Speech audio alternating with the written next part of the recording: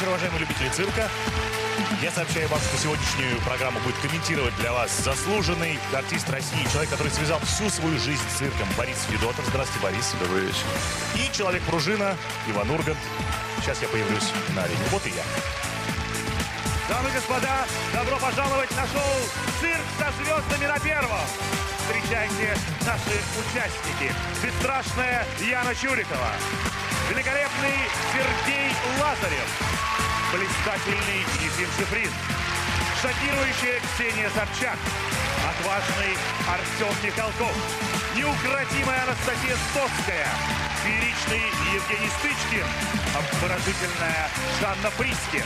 Смехоподобный Сергей Белоголовцев. Грациозная Светлана Коркина. Восхитительная Елена Горикова. И, наконец, великие и прекрасные группа «Чай вдвоем». И все это цирк со звездами. Дорогие друзья, я бы хотел представить вам мою очаровательную соведущую, студентку пятого курса МГИМО, девочку с феноменальной памятью, Александру Волковскую. Александра, позвольте задать вам ни к чему не обязывающий вопрос. Как вы поживаете? Великолепно. Именно великолепно. Сегодня первый этап соревнований. Сегодня впервые наши участники будут принимать участие в выступлении не в качестве реквизита, как это было на церемонии открытия нашего шоу, а уже как настоящие полноценные цирковые артисты. Вы увидите, как наши звезды дрессируют животных, поднимаются под купол цирка. И Сергея Лазарь. Ну а куда же, собственно, без Сергея? Кстати, выступление Сергея и всех остальных наших участников сегодня будет оценивать наша уважаемая жюри. Ведущая Первого канала актриса Екатерина Стриженова. Легендарный клоун Геннадий Ротман, друзья. Прошу. Легендарный руководитель Федерального агентства по культуре и кинематографии Михаил Швыдкой. Актер театра и кинематографа Алексей Кравченко. У меня сразу же первый вопрос, Михаил Ефимович, к вам, как к составителю цирковой энциклопедии. Скажите, какой главный критерий в оценке номеров будет сегодня? Прошу вас. Главное, чтобы ребята не убились. Остальное все мы оценим по справедливости. Звучит надежда в ваших словах, Михаил Ефимович. Объясняю правила. Начиная с сегодняшнего выпуска, шесть выпусков, наши участники будут пробовать свои силы в шести основных цирковых жанрах. Это гимнастика, акробатика, клоунада, иллюзия, дрессура и то, что называется свободный жанр. Все номера будут оцениваться судьями по десятибальной системе. После этого на седьмом шоу звезды выступят с тем номером, который набрал максимальную оценку. Затем лучшие выйдут в полуфинал. А потом, глядишь, если доживем все, то и до финала все дойдем. А теперь я хотел бы обратиться к нашим телезрителям. Дорогие друзья, голосуйте, голосуйте. Для того, чтобы проголосовать, вам нужно отправить смс с номером вашего любимого участника на короткий телефонный номер 7008. Или позвонить по телефону, где две последние цифры являются номером вашего любимого участника. Чу я уже слышу, как за кулисами бьется сердце нашего первого участника. Честь открыть первый день соревнований выпала блистательному артисту театра, кино и эстрады Ефиму Шифрину. Беремся вот так, да. Да. И вот сюда ноги. А, Вот сюда ноги. Вот. Когда неделю назад прошла э, пр- программа в эфире, где я появился на несколько секунд с обезьянами, я дал шанс многим острякам вообще упражняться на тему «Человек произошел от обезьяны», вообще чего я только на- за эти пару дней не начитался. Аккуратно. Аккуратно. Я думал, что это легче, честно говоря. Вот теперь после трапеции я могу вам точно сказать. Человек стал человеком только когда он преодолел страх, когда он почувствовал красоту движения в полете. Супер трюк. Я ведь там на трапеции не один. Ап. Ап. Я все время говорю ап. Когда мне хочется на землю. Людочка, дорогая. сознание того, что на, на, на- на, кончиках твоих ступней вообще жизнь другого человека, это многого стоит. Ты в ответе за тех, кого ты приручил. Приручил в полном смысле этого слова, взял в руки. Если не страшно. Мне не страшно, но я... Нет, страшно. Нет, не страшно. Фим, у тебя все получится на высшем уровне. Я в этом не сомневаюсь. Удачи. Впервые под куполом цирка загадочный мистер Икс. Ефим Шифрин. Итак, дорогие друзья, мы начинаем первый соревновательный день и открывает его Ефим Шифрин.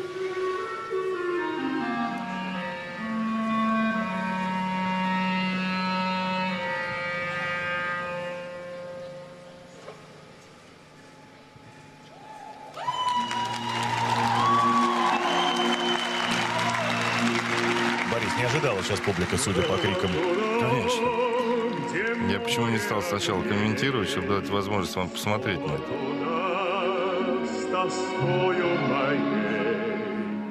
Звучит ария мистера Икса из оперетты Кальмана «Принцесса цирка». Публика ждет, будь смелее права. Со смертью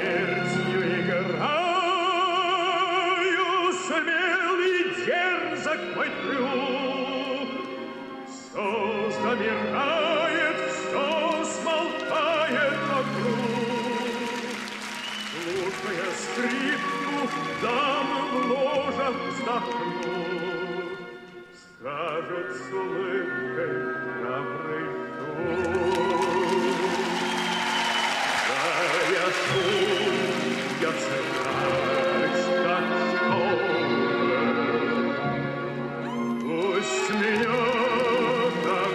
Расскажите, что тут самое сложное. Э, Я так понимаю, что существует такое понятие, как нижний гимнаст и верхний гимнаст. Ну, вы знаете, я в свое время, в начале своей э, артистической деятельности, я был в акробатическом номере, работал, у нас принято говорить, не выступал, работал. Э, Я как раз был в роли нижнего акробата. Вот Ефим, это нижний? Это нижний, да. Нижний.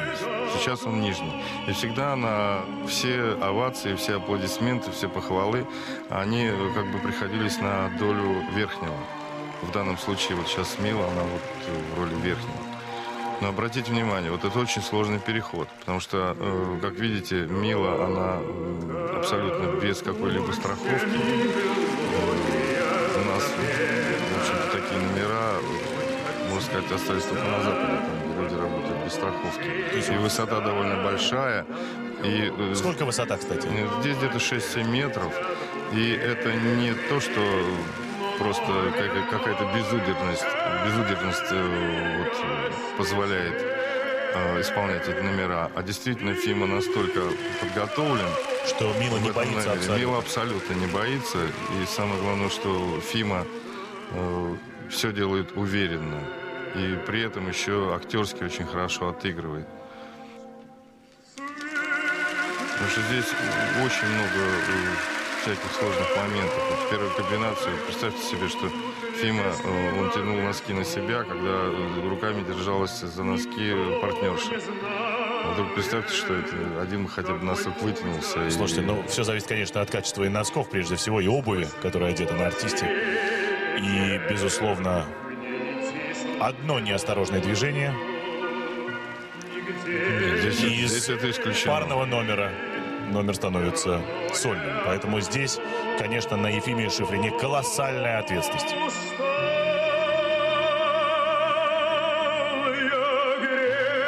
Но блистательная физическая форма, согласитесь? Да, Фима великолепный. Ну, ходит в спортзал, постоянно занимается, очень следит за собой. И он вспомнил то, что он 30 лет назад э, делал в цирковом училище, хотя вот сейчас Обратите внимание, вот это очень сложный трюк. Очень Поднимает его на высоту более 10 метров. Мужчина как бы держит женщину в петле. Да. И был случай, когда вот такая петля, которая была на шее у партнера, она передавила сонную артерию. Все, не рассказывайте дальше, Борис. Не рассказывайте. Не, ну все обошлось. Все обошлось, стали все живы. Ну, слава богу. И в нашем случае, к счастью, все тоже остались живы. Блистательный Ефим Шифрин и очаровательная Людмила Денисенц с первым номером нашего шоу. Ефим Шифрин и Людмила Аганесьянц.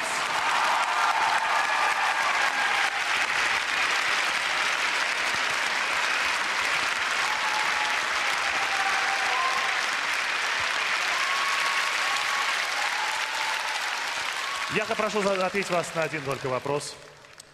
Ефим, сколько вам лет? В биологический возраст или как сегодня себя чувствую? Сегодня лет 18, ровно столько, сколько миль. Почему вы выбрали именно трапецию? Из-за Милы исключительно. Нас как на заводе сначала повели на экскурсию, вот показывали там конвейерный цех, сборочный, вот, э, мастеров, педагогов, с которыми мы будем работать, партнеров. И я глазом увидел Милу и решил, что только трапеция. Мила, у меня вопрос к вам. В отличие от Ефима, у вас э, страховки не было. То есть единственная страховка были руки Ефима.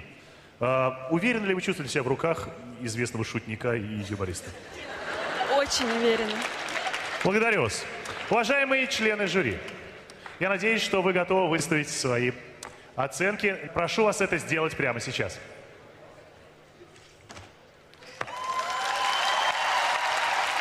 Ми- Михаил Ефимович, я смотрю на вас, понимаю, что вы практически ровесник Ефима. Вам тоже 18 сейчас, вы так смотрите на нас. Ну, вам понравился номер? Расскажите. Э, Вы знаете, э, я э, поставил бы 10 Людмиле, как и все мы, я так думаю. Потому что Фима Ефим Шифрин отважный человек. Но еще более отважен он потому, что ему доверила свою, в общем, жизнь эта очаровательная и прекрасная актриса. Спасибо огромное. Ефим Шифрин, Людмила Аганесян, 36 баллов за этот номер. Аплодисменты. Спасибо. Паш, Паш, что не сделали? Все сделали. А? Не, правда, что не сделали? Все супер вообще. Даже на репетиции Это было учебное пособие для меня. Я теперь буду учиться. Все, всего хорошего. Отдыхайте. Пошли отдыхать.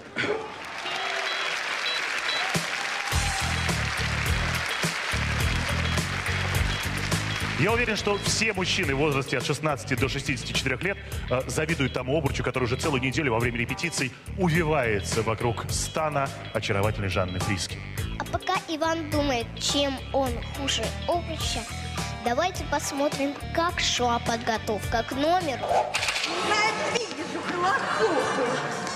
Это какой-то ужас. Кошмар. Это нужно подбрасывать, ловить ногой. Я поняла одно. Если они даже мне все упадут на голову, главное улыбаться и делать это непринужденно, как будто я утром перед завтраком вместо чашечки кофе кручу хулахупы. Малыш, вы сразу от меня очень многое хотите. Но я даже не хочу там разогреваться, выходить в манеж, э, смотреть, кто как будет выступать. Ничего не хочу. Закроюсь где-нибудь в уголке и буду сидеть дышать, настраиваться на выступление. Уже хочется так прыг в воду. Все там сделал, быстро и убежал. Дай наверх. И музыка замолчала. Когда бросаешь, Я нужно забыла, как смотреть. Э, Каким-то движением я так и не научилась, которые я разучивала на протяжении трех месяцев. Вот этот вот как- так называемый жонгляж э, хулахупами, это я освоила, и мне Яна, моя, моя партнерша, она сказала, Жанна, я уверяю тебя, что у тебя готов абсолютно нормальный цирковой номер. Вот, вот, иди, иди.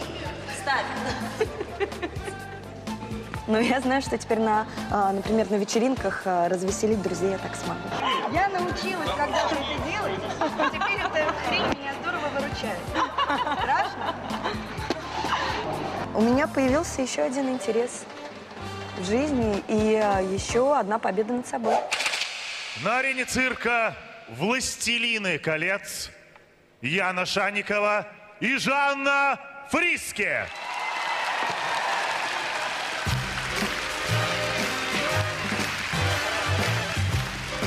Ну что, уважаемые телезрители, думаю, что сейчас оживились многие из вас. Прежде всего, конечно, увидев обручи. По статистике, каждый второй россиянин 40 минут в день проводит крутя хулахуп. Ну, непроверенные данные, если честно. То, что можно сказать, допустим, о Жане, у нее очень хорошая подготовка, и, к сожалению, в этом номере она не демонстрирует полностью то, что, а, на что она способна, как э, цирковая артистка, уже будем говорить так. Да, то есть полагаете, что все-таки не до конца раскрылась Жанна? Абсолютно. Наверное, это связано с тем, что слишком много одежды на ней. Глухой, под горло застегнутый костюм мешает Жанне раскрыться. Ну, возможно, это, но самое главное, это то, что с ней в паре работает Яна Шаникова, которая профессионал. А согласитесь, нужна смелость для того, чтобы выходить на манеж с гораздо более подготовленным э, партнером. Ну, в общем-то, думали, что это будет, э, наоборот, э, легче. Но получилось все с точностью да наоборот, как обычно это бывает. Но, тем не менее, Жанна справилась с задачей. Я думаю, что дальше, в дальнейших э, жанрах она себя проявит.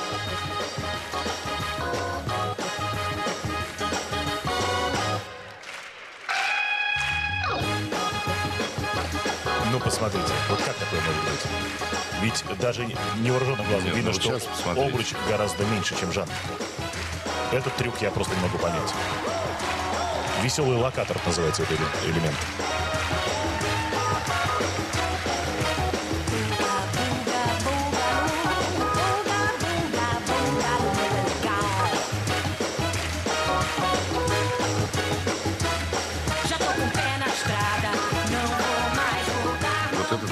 Цирке в жанре хлопук называется бочка. Давайте посмотрим, как Жанна сделает бочку. Потому что сейчас, когда они разводят кольца, как раз напоминает такую бочку. Да, действительно.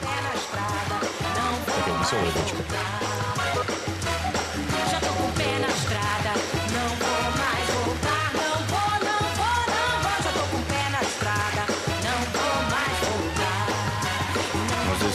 Еще у Жанны хватило смелости сделать два, два сольных. Вот первое она сделала, когда крутила на голове. Могу вам сказать, что вот это не всем удается, кто пытается это Ларис, сделать. я прекрасно вас понимаю. Я многократно пытался это делать в одиночестве дома. И прилюдно. Практически невозможно выполнить этот элемент. Жанна Фриске и Яна Шанникова.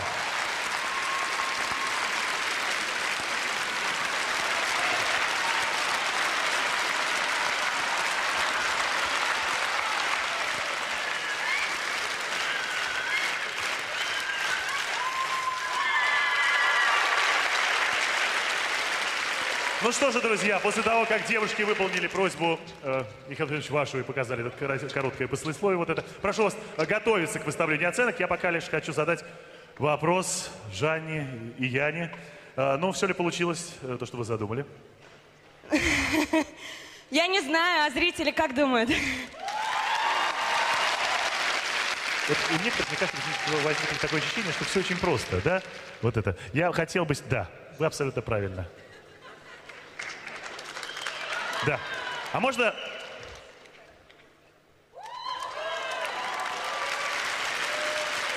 Вот на первый взгляд все очень просто. Я... Я могу попробовать? Ну, я не знаю, если у тебя похоже на мою. я- Мне всегда казалось, что да. Я потом попробую после окончания шоу. А, Прошу вас, уважаемые э, судьи, члены жюри, выставляйте нам оценки.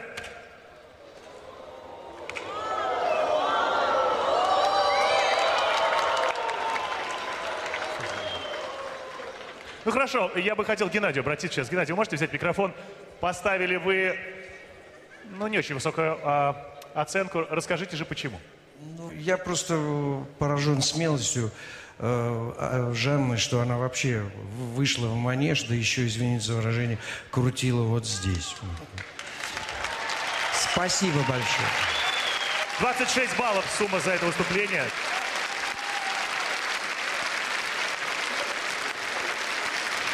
Молодец, ты сделала все как надо, ты вообще вся... Я говорю, «Муа, ты умничка. Красиво. Ну ничего, зато с холохопами все. С холохопами.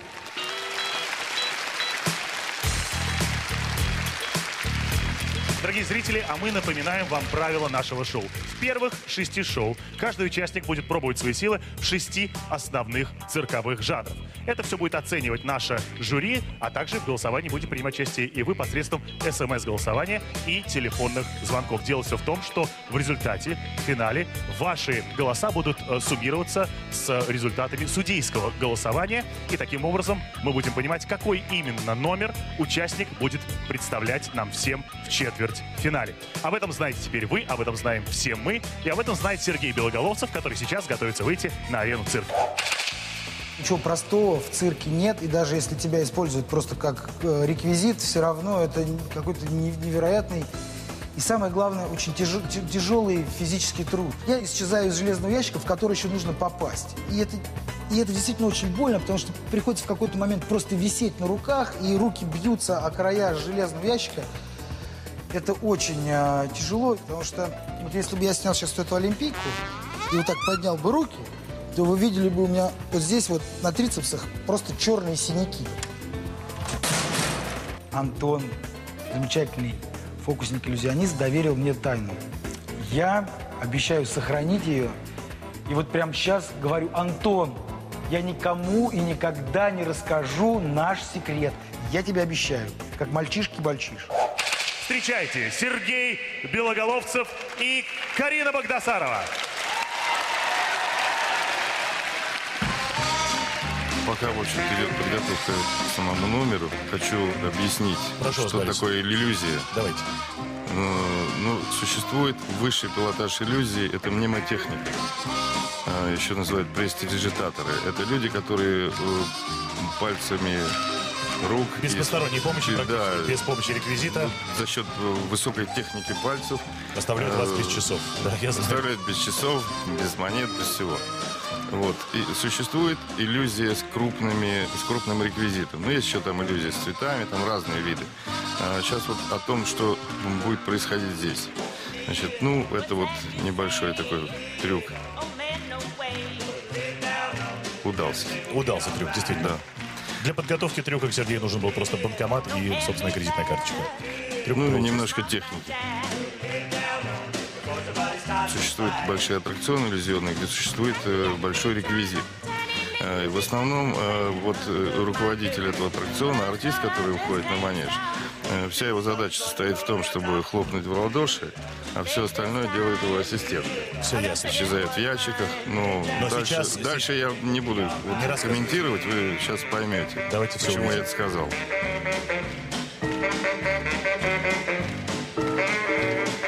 Фантастика. Вот этим номером и фокусом, конечно, многие из нас хотели бы овладеть.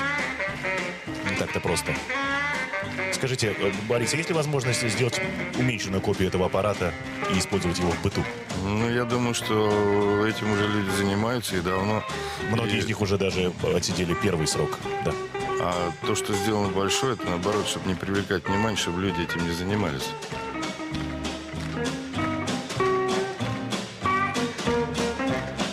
Скажите, а какая-нибудь другая валюта, например, украинская гривна? Может быть. Ой, посмотрите, что происходит. Сергея, можно сказать, э, затянуло. Засосало. Засосало в номер. Карина, судя по ее лицу, не ожидала. Ну, Сейчас куда уж. посмотрим, какие деньги из него получатся. Давайте посмотрим, действительно.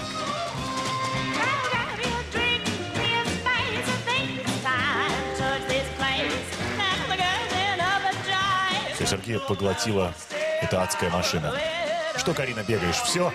Нету сережки больше. Вот это да.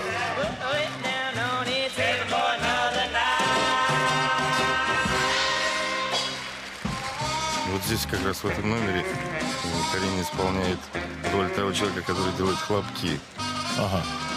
А непосредственно трюк сам Выполняет исполняет Сергей. Сергей.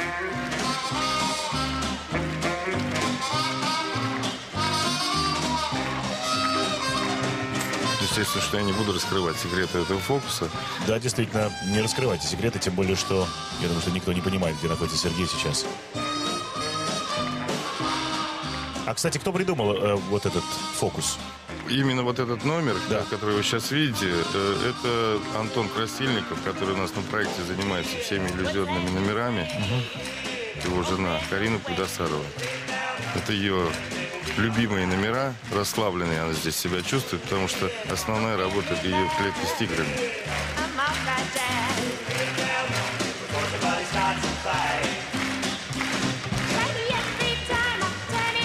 Небольшая накладка произошла, он не смог открыть.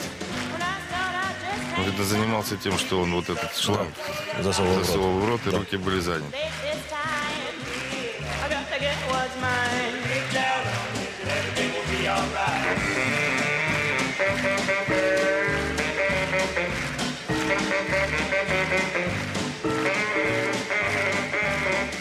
Я думаю, что ни у кого не возникает сомнений в актерских способностях Сергея.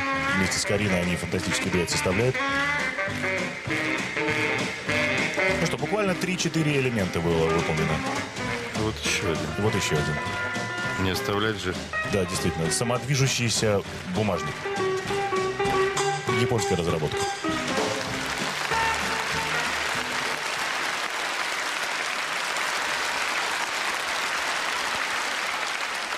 Расскажите, как долго шла подготовка к этому номеру?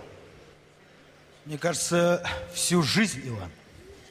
Вы всю жизнь мечтали о том, чтобы у вас были полные карманы денег, вы печатали фальшивые монеты и вас надували насосом? Да. Ну а насколько важно вот взаимопонимание, когда вы делаете иллюзию, фокусы? Насколько важно здесь чувствовать партнера? И а, соответствует ли Сергей э, этим требованиям? Соответствует на сто процентов, но нужно делать одну вещь очень важно вместе со зрителем. Когда делаешь насос вот так, а зритель в это время аплодирует, ты делаешь так. Раз, два, три, четыре, пять, шесть. Все, понятно, достаточно. Достаточно. Ну что же, уважаемые господа, прошу вас, выставляйте оценки. Щедро. Щедрые оценки. Карина Багдасарова, Сергей Белоголовцев. Спасибо.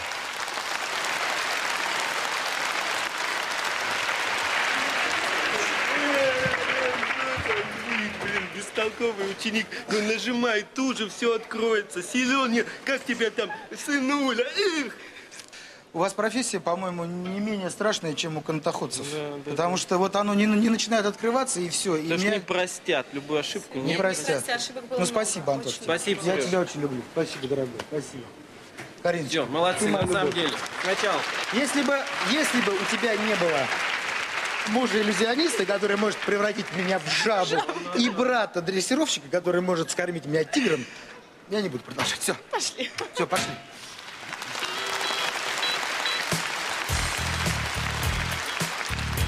Друзья, клоунада. Мой самый любимый жанр. Хотя, если честно, я не представляю нашу следующую участницу в этом жанре. Я дело в том, что часто и многократно рассматривал фотосессии Елены Кориковой в глянцевых журналах. Это вообще не смешно, но очень и очень интересно.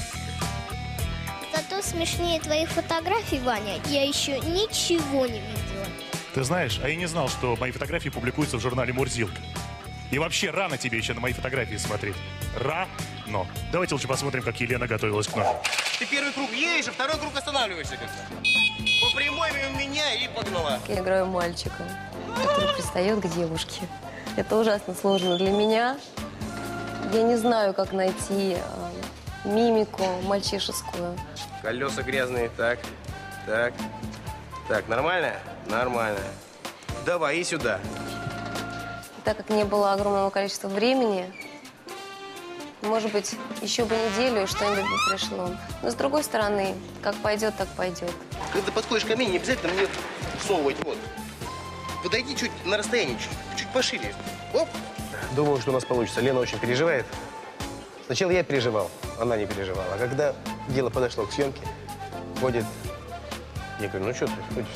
Давай, ты сказала, что потом выдадим и дадим. Ну вот сегодня и посмотрим, как мы выдадим и дадим. И что дадут нам. Встречайте на арене цирка на Цветном клоуны Владимир Дерябкин и Елена Корикова.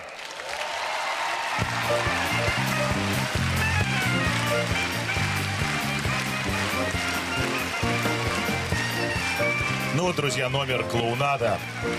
Любимый всеми жанр.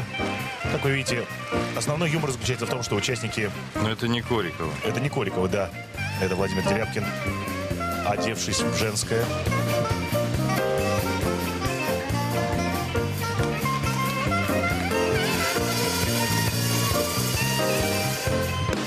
Как смешно. Да, действительно. Владимир нырял в колодец. Я могу сказать, что это не так-то просто, как кажется, просто ходить в женской одежде. Это я могу судить по собственному опыту. При этом нырять в колодец. И при этом нырять в колодец. Я с 18 до 24 лет практически не снимал себя женскую одежду и половину свободного времени проводил в колодце. Это нелегко. А вот э, и появляется Елена Корикова. Я просто присутствовал на репетиции, как она мучилась, когда она выезжала на этом мопедике маленьком. Довольно сложно вписаться в 13-метровый круг и при этом еще не забыть то, что надо делать после этого. Традиционная русская сцена знакомства мужчины с женщиной.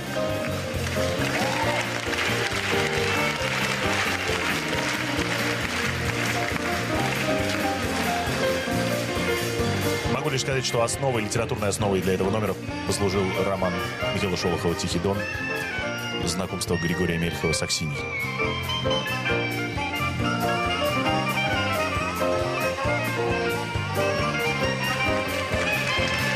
Что самое сложное в э, профессии клоуна, на ваш взгляд, Борис? Рассмешить.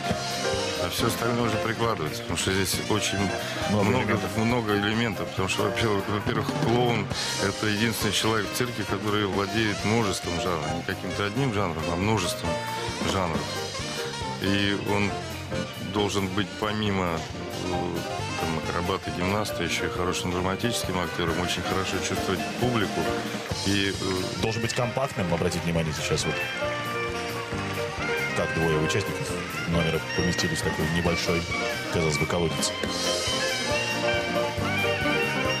Нет, я должен сказать, что вот Лена, обратите внимание, что она все очень точно делает. Она точно очень отрабатывает вот эту всю схему, при этом она еще успевает все это очень хорошо обыгрывать. Потому что женщина-клоун это, это в общем большая, очень большая редкость. Они бывают обычно необаятельными, несимпатичными. Но в данном случае Лена просто с этой ролью справилась прекрасно.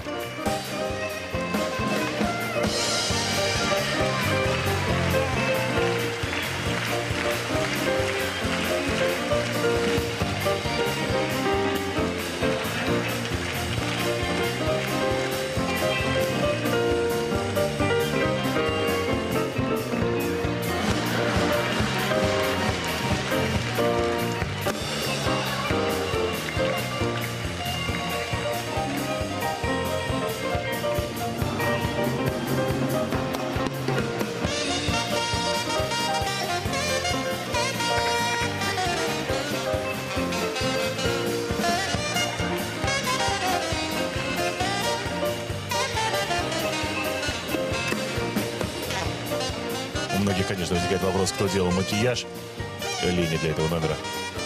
У нас есть команда стилистов, которые этим занимаются. Вот, и гримируют специально. Но они были в замешательстве. Ну, представьте, как э, человеку подойти к прекрасному лицу Лены Кориковой и, и вот так И вот так вот широкими мазками. Понимаю вас. Я думаю, что у многих зрителей возникнет ощущение, что основные трюки-то выполняет Владимир, но согласитесь, то, что делает Лена, не менее важно. Ну, и не менее сложно. Ну, на секундочку, вот представьте себе э, сейчас одного Володю. Я вообще одного Володю представить себе не могу. Зная. А Лену? А Лену я все время одну представляю. Ну, у вас будет возможность и в других жанрах увидеть, где она солирует. Я думаю, что мы все с нетерпением этого ждем. Ну вот традиционная схема. Русская женщина несет на руках русского мужчину под аплодисменты толпы. Владимир Дерябкин и Елена Корикова.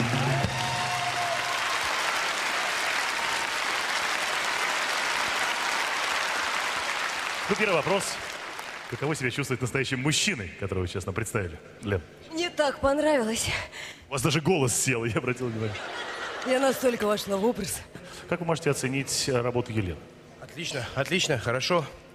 Настолько, сколько можно было репетиций, мало у нас было, но достаточно. Я доволен. А что было самое сложное? Вот из всего того, что э, здесь делала Лена. Да все сложно. Вот я обратил внимание, сапоги вы одели размеров на 10 больше. Сложное было ходить в этих сапогах. В этих сапогах. Давайте посмотрим, насколько оценили ваши старания члены нашего жюри.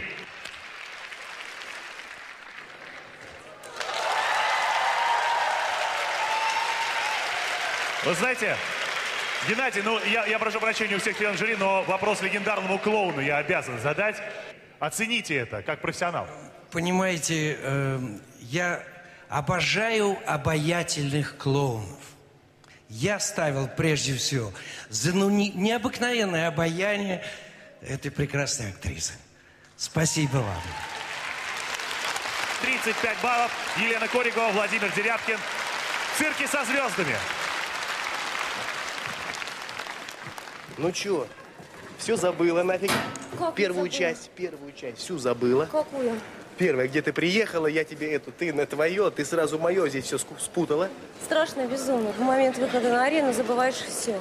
Вообще забыла все? Вообще. Ты хоть помнила, что ты Елена Корикова? Нет. Нет. Я ну, помнила, что мне надо к тебе приставать.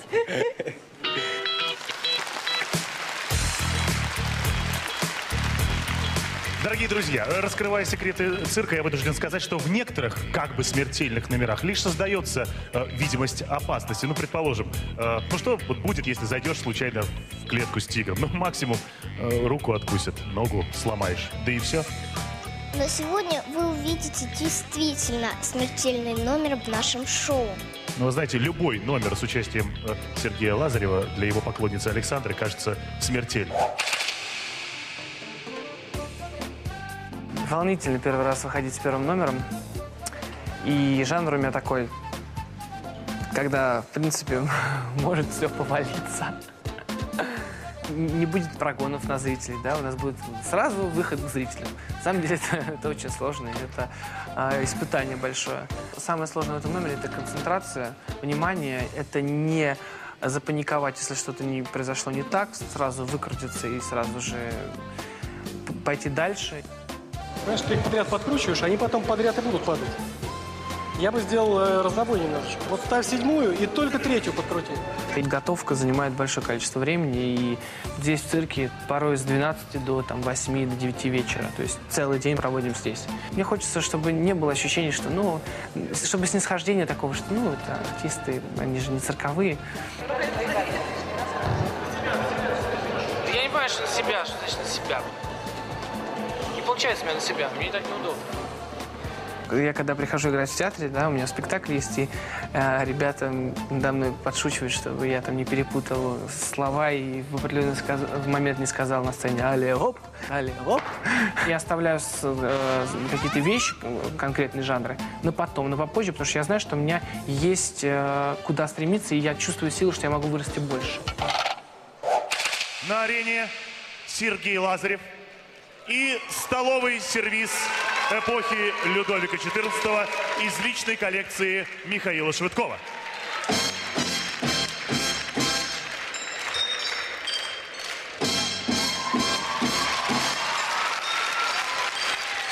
Сергей Лазарев себя пробует во всех жанрах. Мы знаем прекрасно, что по образованию он драматический артист. По основной профессии певец э, лирического толка. Петя даже спеть здесь не стал. Да, кстати, обратите внимание. Очень сложно на профессиональном удержаться и не спеть.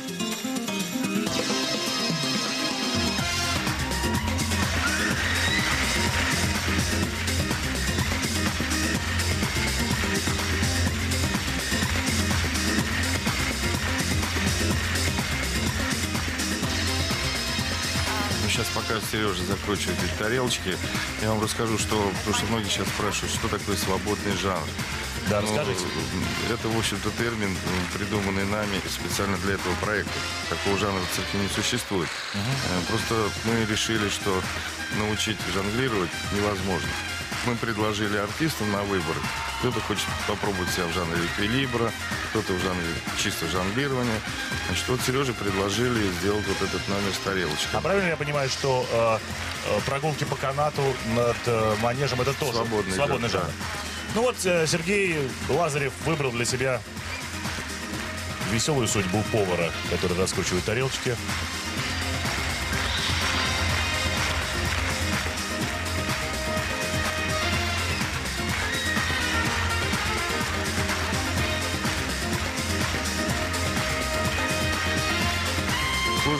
Заключается в том, что... Чтобы не дать упасть тарелке. Нет, это само собой, это как результат. А сложность заключается в том, что надо вот в этом э, четком э, режиме закрутить вот эту трость. А, Потому что нужно ее очень хорошо почувствовать, вот эту трость, чтобы она э, закрутила вот эту тарелочку. И потом вот эти дальнейшие подкручивания. Вот видите, вот тарелка вот-вот падает, но стоит ему прикоснуться и в этом ритме начать закручивать трость, и тарелка опять э, возвращается в свое нормальное горизонтальное положение. Очень сложный номер. Ну, Сережа молодец, он великолепный Не пропускает актер. репетицию? Нет, нет. Он физически подготовлен очень хорошо. Просто хорошо физически развит, безусловно. Ну, он немножко занимался гимнастикой, правда, совсем немного еще в детстве. И, в общем-то, сейчас это помогло.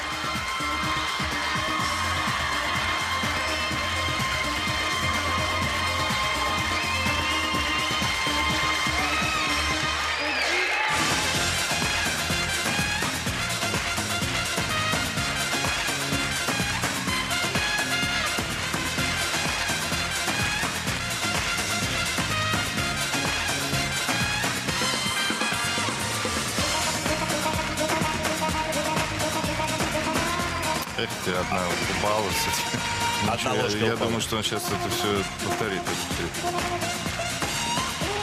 Но это признак хорошего, э, хороших манер в цирке, хорошего тона повторить тот номер, который у тебя не получился или да? Э, Ну, бывает, это бывает. и закон так. или Э, нет? Нет, это не абсолютно, это не закон, но есть, есть номера, где специально вот это... Ну, в данном случае, я думаю, что это не было запрограммировано, потому что э, ребята настолько переживают за все номера, они стараются все делать с первого раза. Ну, давайте сейчас посмотрим. Получится? Нет. И снова ложка упала. Но при этом же надо еще, вон, видите, пожалуйста, вот, вот она упала, совершенно спокойно. Давай, давай, давай, давай, давай. Хочется крикнуть ему.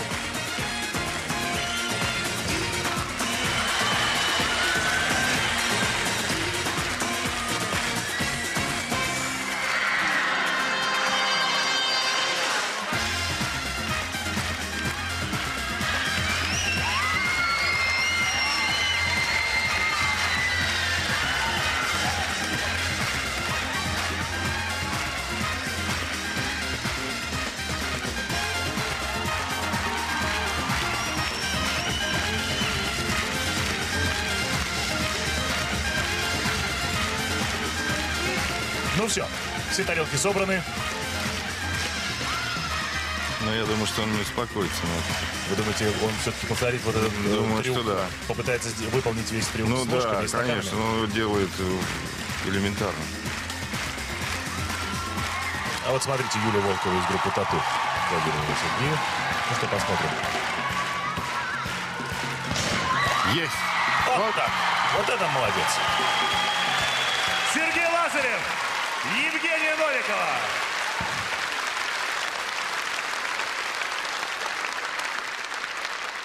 Первый вопрос утилитарный. Сколько тарелок было разбито мальчиком во время репетиции?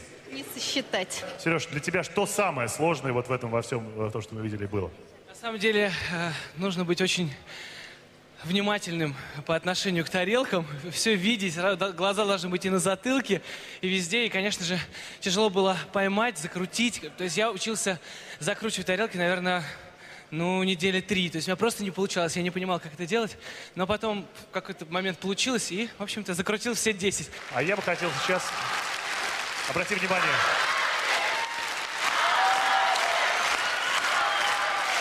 Совершенно очевидно, что члены нашего зрительского жюри, а, наши зрители голосуют за тебя. Давай посмотрим, а, как проголосует э, наше авторитетное главное жюри.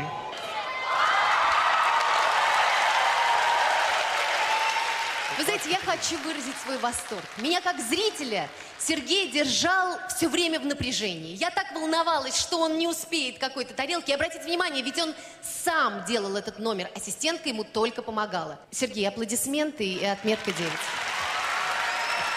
Я, во-первых, э, восхищен тоже этим прекрасным номером. И я уверен, что теперь вам можно спокойно, совершенно входить в манеж. Э, Поставил 9 только по одному. Тарелок-то в моем сервисе было 24, а осталось всего 10. Вы еще не знаете судьбу супницы, Михаил Ефимович. Прошу вас. Ну, меня, во-первых, поразило, что за такой короткий срок не профессионал в этом жанре, а, можно сказать, осилил этот жанр. Это очень сложный и тяжелый. Но единственное, что я не мог поставить десятку, извините, я как профессионал должен учитывать минус завалы, как у нас в цирке говорят. Спасибо, молодец. Тем не менее, друзья, несмотря на эти завалы, Сергей Лазарев становится лидером. 37 баллов.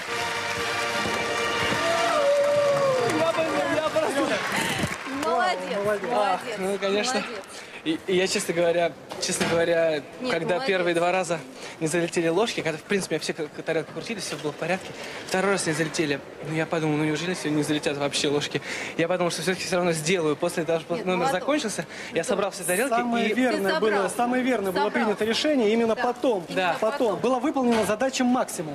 Зритель, я- я- я- Он зритель просто так выводил, крик- выводил. Я- да. Была максимум, выводил да. шикарно. Чтобы они не просто как вертолет крутились, и чтобы они не упали. Вот это, Да, это самая игра. серединка, Вот та грань, грань, на самом деле зритель, А зритель- зритель на самом деле зритель просто кричал, я удивлен. переживал. Все десятки. Я- Я, я, все десятки ставлю. Молодец, молодец. Отлично. Спасибо.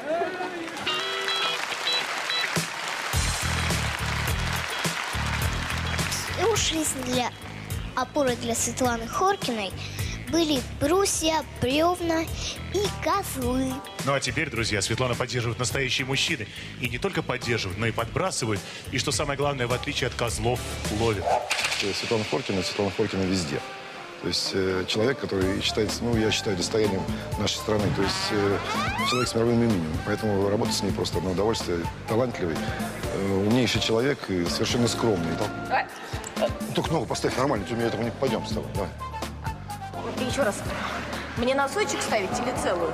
Мне что нравится в этом жанре, потому что когда я а, на пятую точку приземляюсь, меня мои партнеры носят на руках. А я так люблю, когда мужчина носит на руках женщину. Ой, мальчики, мне нравится. Давайте сюда, Подняли, разворачивайтесь. Подняли. Разворачивайся. Поехали. Ну давай, давай, стоишь, стоишь, стоишь, подберись. Вот так. Отлично. Есть много общего, конечно. Это трюки, это сальто. Одно, два сальта, сальто вперед, сальто назад. Делаем. Леша, да ё-моё! В чем-то проще, потому что здесь мне помогают отталкиваться и меня ловят. В спортивной гимнастике за свои действия я отвечаю сама. Сложно, что я никогда этого не делала просто. Здесь я должна работать и доверять партнерам своим. Поэтому для меня это как-то ново. Я доверяю, но проверяю всегда. Это вот тут два ложных беда этих ребра. Здесь разрешаются разные бусы, а, блестки, то, что, в общем, в принципе, мало позволительно в спортивной гимнастике. Стоять! Здесь существует спортивный азарт, спортивные состязания, и это очень-очень мне нравилось всегда, и я завелась, и я буду бороться до конца. Таких женщин, как Светлана Хоркина, не кидают. Их подкидывают по 15, а то и по 20 раз за номер. На арене короли акробатики и королева спортивной гимнастики Светлана Хоркина.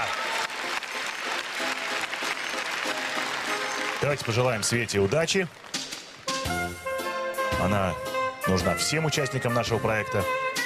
Да, все-таки два года. Это для и, для гимна, для спорта, и для цирка, в общем, довольно большой срок. И Она нашла в себе силы и мужество вернуться. Два года Светлана Хоркина не тренировалась. Это было связано с тем, что Света подарила э, себе и нам наследника. Почему я сказал нам? Ну, поклонникам Светланы я имел в виду. Ну, может, он, когда вырастет, тоже станет звездой мирового уровня, и поэтому... Не может быть, а точно. Во всяком случае, я думаю, что все участники проекта помогут Светлане в том, чтобы ее сын достиг высот не меньше, чем их мама. Ну вот вы обратите внимание, кажется, что, в общем-то, Света делает довольно привычные для нее вещи. Но Но разница, как мы с вами понимаем, в том, что э, в отличие от одиночных выступлений в спортивной гимнастике, сейчас вокруг Светы увиваются трое сильных, подготовленных мужчин.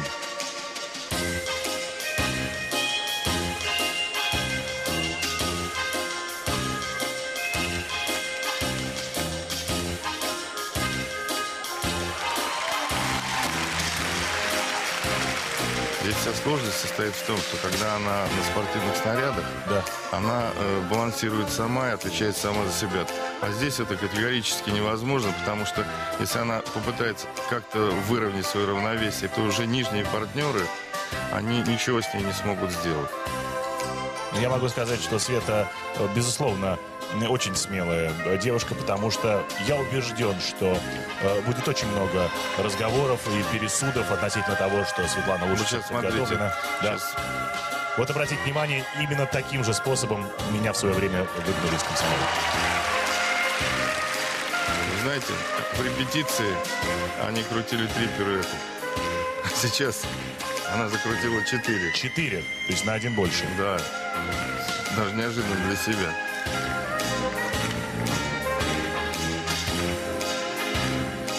Конечно, она актерски очень хорошо справляется. Просто отлично справляется Ну, Света играла. Света играла в театре, и, безусловно, она является одной из самых артистичных спортсменок.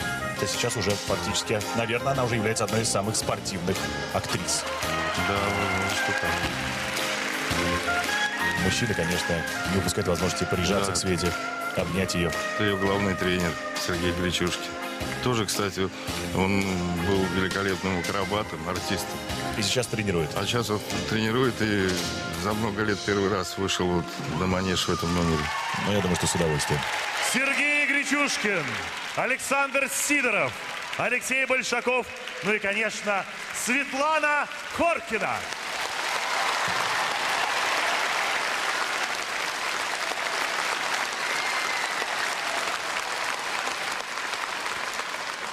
Сколько ты не тренировалась после того, как ты, ну, какое-то время покинула э, э, спортивную гимнастику? Два года. Два года. Сколько лет твоему сыну? Год и семь. Год и семь.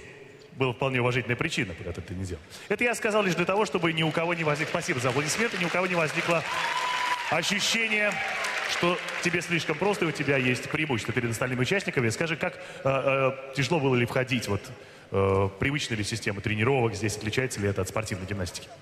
Когда женщина рожает, она сама рождается заново. Поэтому можно сказать, я вообще родилась заново, и в принципе это первые шаги в цирке, в спорте и так далее. Ну, хорошо. Тогда спрошу у мужчин. Уважаемые мужчины, как вы оцениваете э, физическую подготовку Светланы Хоркиной к номеру? Десятка. 20. 30, понятно. Да, ну, логика ясна. Хорошо. А, уважаемые члены жюри,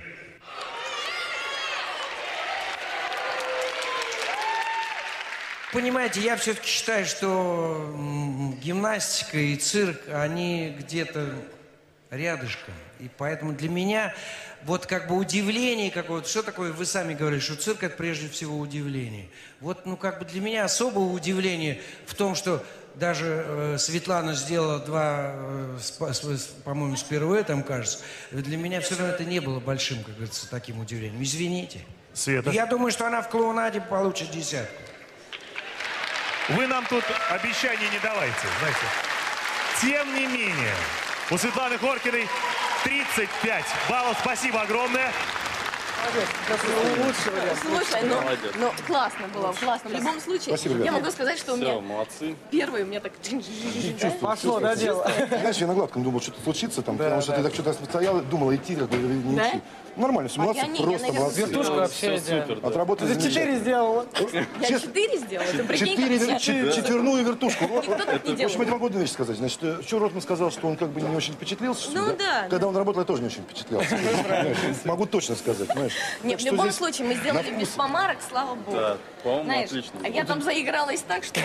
При- при- не знаю, принцип- Голливуд позавидует.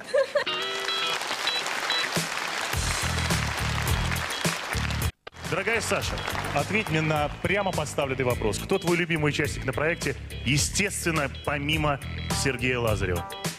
Женя Стычкин. Это интересно почему? Когда я на него смотрю, у меня шея не затекает. Неплохо. Ты знаешь, я думаю, что сейчас будет затекать шея у всех э, зрителей цирка на цветном. Под куполом цирка опаснейший дебютный номер исполнит Евгений Стычкин. Раз, раз, встал. И прижать бедро, да, и в бедро все время. Первый номер у меня ремни. Вот Я стою, держусь, видите, за палочку. Я уже стоять просто не могу. Тяжело это очень. Вообще люди этому учатся много-много лет, а мы должны сделать это быстро, поэтому мне до смерти страшно. Меня поднимают на 12 метров над куполом цирка, у меня нету страховки, а в руках две маленькие веревочки. Я не хотел бы фантазировать на, по поводу того, что со мной будет, если что-нибудь пойдет не так. А назад куда я забыл? А обратно открыться. Вот, вот, вот, вот, вот колени вместе, да. Выше поднимай, выше поднимай. Проследи за ногами, проследи за ногами. Разножечку. Когда первый раз меня а, тренер поднял наверх, он мне командует обрыв. А передо мной 9 метров, у меня в руках две веревочки, причем еще с новым креплением. У меня даже сейчас вот руки мокрые, когда я это рассказываю. Ну вот, в общем, это неприятно, я так и не оборвался. Вот теперь это надо сделать во вращении. И когда ты возьмешь группировку, крутка увеличится. Я сделал достаточно опасную вещь. Э, Я поставил самый сильный, самый трудный свой номер первым. Но я намеренно завышаю изначально себе планку для того, чтобы потом я обязан был к ней подтягиваться. Вот очень скоро я буду такой же здоровый, красивый, как Павел. Я пытаюсь только спать и есть. Это единственные два занятия, которые просто физиологически мне остались необходимы из-за количества работы. Вот на это хватает времени, просто потому что иначе бы я помер. А это я не могу сделать, потому что впереди еще много программ. Евгений Стычкин. Воздушная гимнастика на ремнях. Вы знаете, уважаемые телезрители, мне посчастливилось, да и Борису тоже, что скрывать, увидеть этот номер на репетиции. Пожалуй, мы здесь воздержимся. Э, Боря, предлагаю вам от комментариев. Потому что... Единственное, пока вот э, Женя готовится к номеру, могу сказать, вы вот видите, у него забинтован палец. Он буквально накануне получил травму. И все равно пересилил себя и отработал великолепно. Сейчас это увидите. Давайте просто посмотрим на номер в исполнении Евгения Стычкина.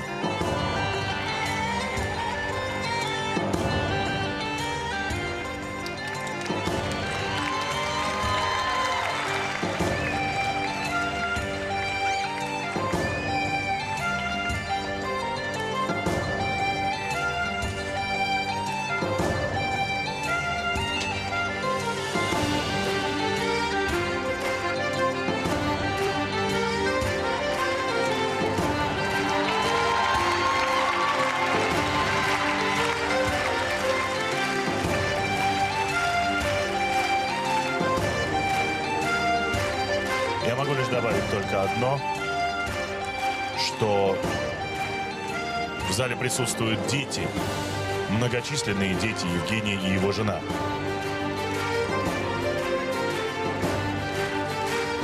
Я объяснить не могу, Борис, того, что я сейчас вижу, потому что для меня это абсолютный шок. Дело в том, что я могу сказать одно, что если человек талантлив, он, он талантлив во всем. И Женя, когда он пришел к нам первый раз, и он даже понятия не имел о- даже об этом жанре воздушной гимнастики, не говоря уже об этих ремнях, на которых сейчас он исполняет великолепные трюки, которым, в общем-то, могут позавидовать профессиональные цирковые артисты, работающие в этом жанре. Вы знаете, я много лет уже знаю Евгения, я даже не подозревал, что он находится в такой фантастической физической форме, ведь это нужно быть просто готовым, чтобы выполнять эти элементы.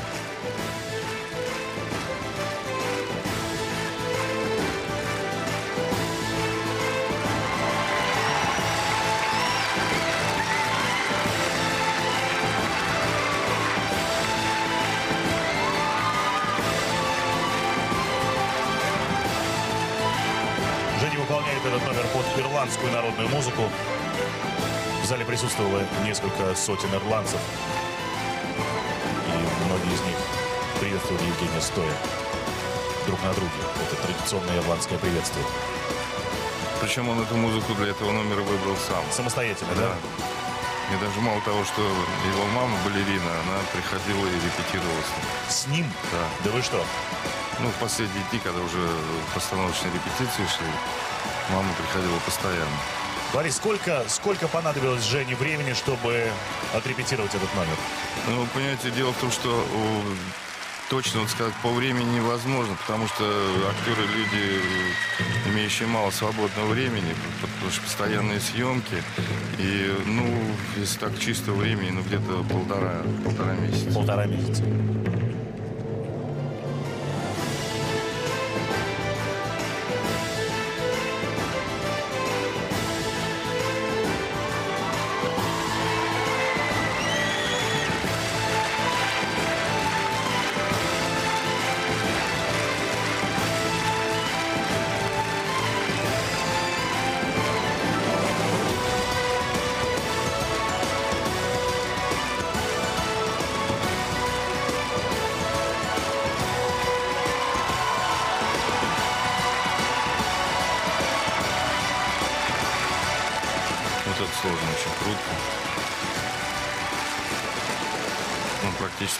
Передний бланш.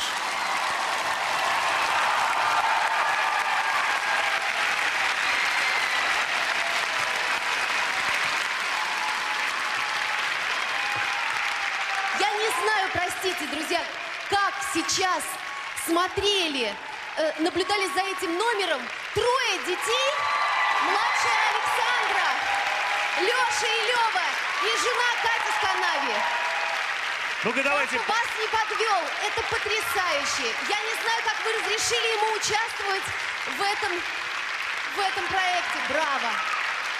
Жень, расскажи два слова действительно о, о, э, подготовке к этому для меня не то что сложному, а невозможному номеру. Павел Яблочков, мой тренер и учитель, и только благодаря ему я все это сделал. Большое ему спасибо.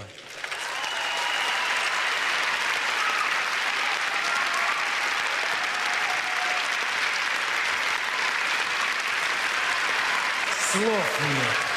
Спасибо большое. Я знаю, это, что это за жанр. Для меня просто вы открытие какое-то в этом жанре. Спасибо. У меня пока шел номер, все время спрашивал, ну это артист чего? Я говорю, артист. Ну артист чего? Я говорю, чего? Театра и кино. А теперь цирк. Женя, главное, не уезжай в цирк де Жека, у меня такое ощущение, как, как будто ты всегда и постоянно работаешь здесь. И костюмчик у тебя неплохой.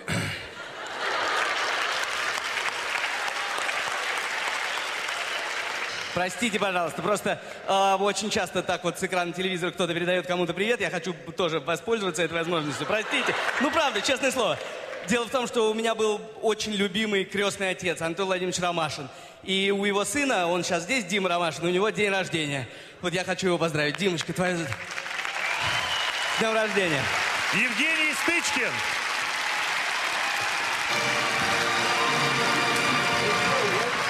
Все сделал.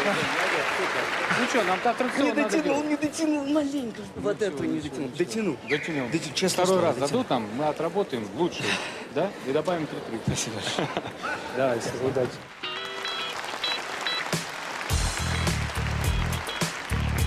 Ваня, знаешь, я узнала, что цирковые собаки знают в два раза больше команд, чем простые. Ну-ка. Например, классический. Сидеть! Лежать! Голос! Думаю, что во время выступления вместе с Ксенией Собчак это им не сильно помогло, ведь они не знают такие команды, как «Гламурненько», «Шопинг» и «Фу, как не стильно».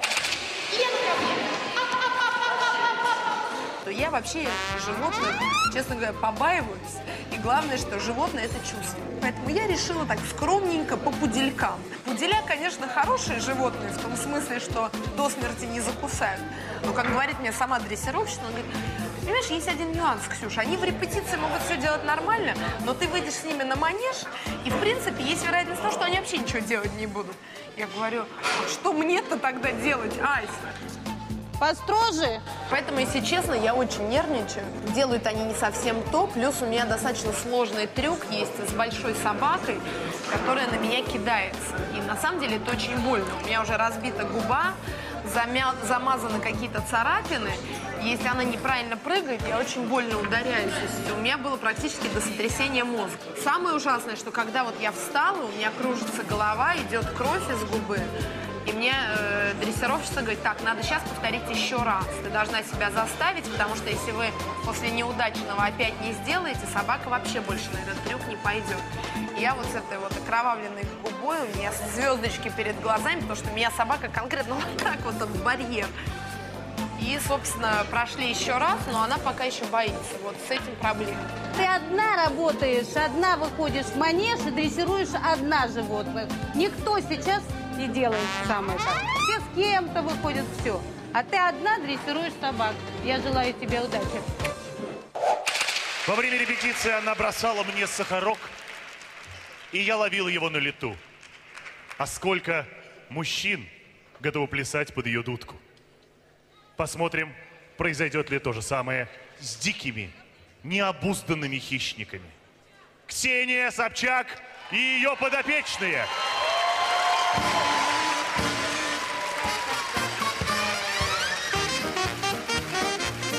Ну что же, одиозная фигура.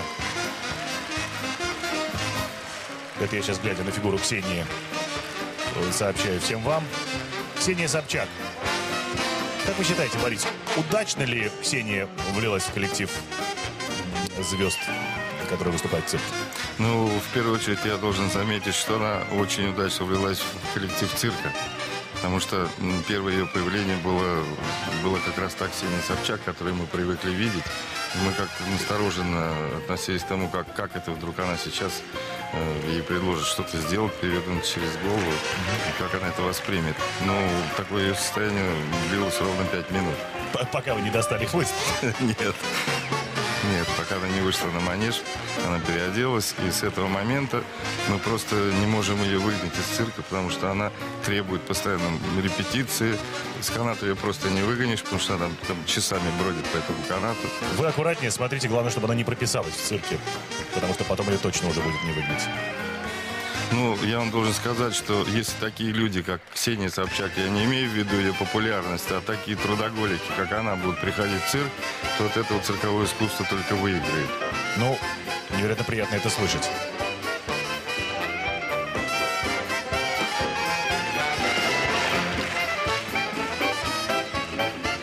Ксюша за- заставляет ребенка поднять ногу. Это моя соведущая, кстати. Девочка-робот из Малайзии.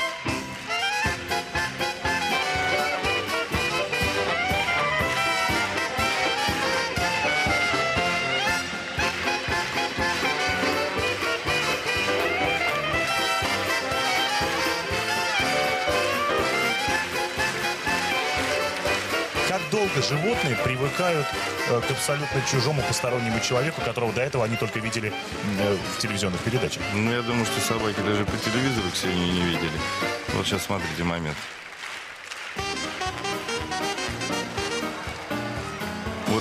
Вот Эта собака, по-моему, все-таки видела Ксению, судя по тому, что она сделала. Ну, вы знаете, тут даже вот тот момент, когда э, Ксения репетировала вот этот номер, трюк шел великолепно, и когда сшили вот эту юбочку, которая сзади, вот эта розовенькая на ней, и собака увидела вот эту юбку, и пришлось несколько дней приучать собаку, чтобы она только ударила э, в спину. Не успела собака привыкнуть к Ксении, как пришлось привыкать к юбке.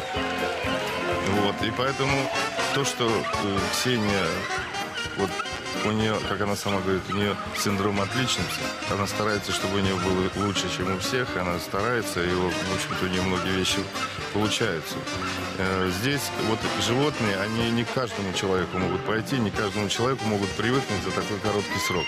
Потому что действительно, когда пришла на первую репетицию, она чуть не расплакалась, потому что эти собаки, ну, просто на нее внимания не обращали. Не обращали, не брали автографов, да. Абсолютно. Не спрашивали, как попасть в дом 2. Да, это правда. И тем не менее, обратите внимание, по-моему, Борис, может быть, э, это только у меня, не профессионал, такое ощущение, по-моему, э, абсолютное присутствует э, взаимопонимание между Да, Ксенией да, и собакой. абсолютно. Ну, вы же видите сами. Все трюки исполняются безукоризненно. Просто придраться здесь не к чему. потом актерский вытягивает все очень четко.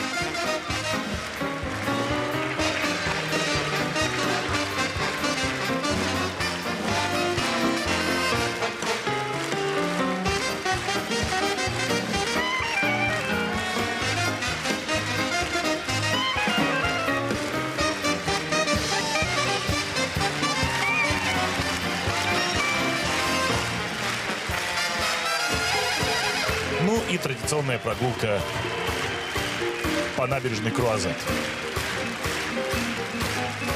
Прекрасно. Спасибо, Ксения.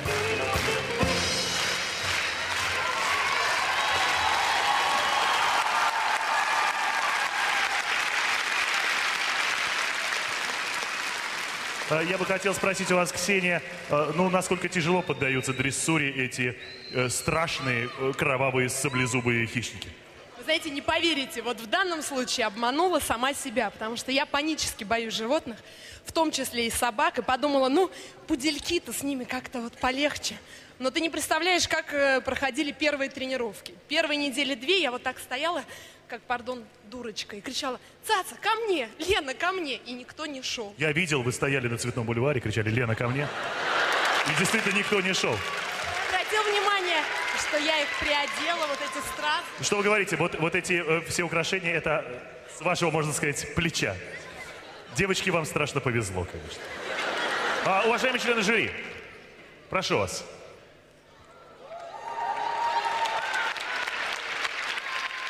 Я думаю, что такой очаровательный я Ксению не видел никогда. Очень идет розовый цвет.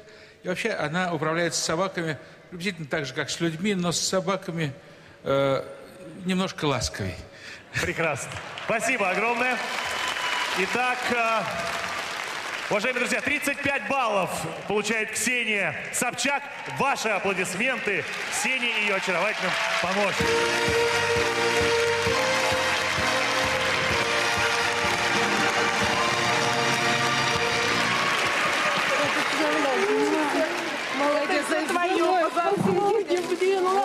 У нас получилось с тобой.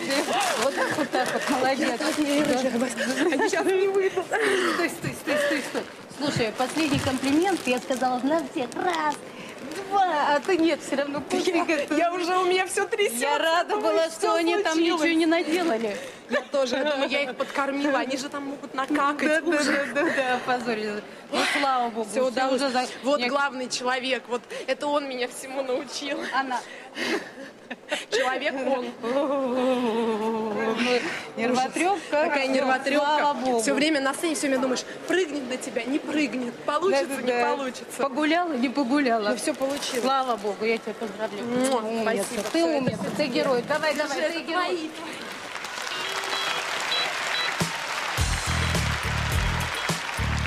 Чем легкомысленнее дети, тем солиднее родители. И наоборот. Вот, к примеру, мой отец веселый, залихватский рубаха парень. Даже странно, как у такого человека мог родиться такой унылый, грустный, бессмысленный ребенок, как я.